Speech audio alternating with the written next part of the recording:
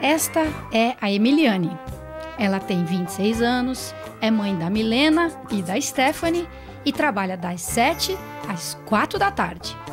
Emiliane está na fila de espera da creche faz dois anos.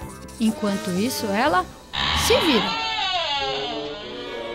As crianças ficam com a vizinha, que quebra um galho. Milhares de Emilianes ficam dependendo de favor ou têm de pagar e torcer para que dê certo.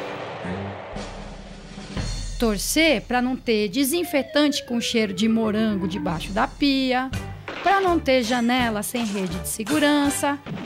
Não é justo e é uma emergência.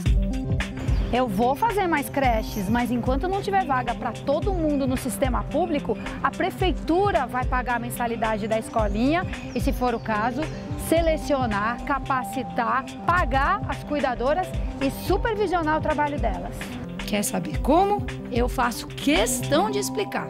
soninha.com.br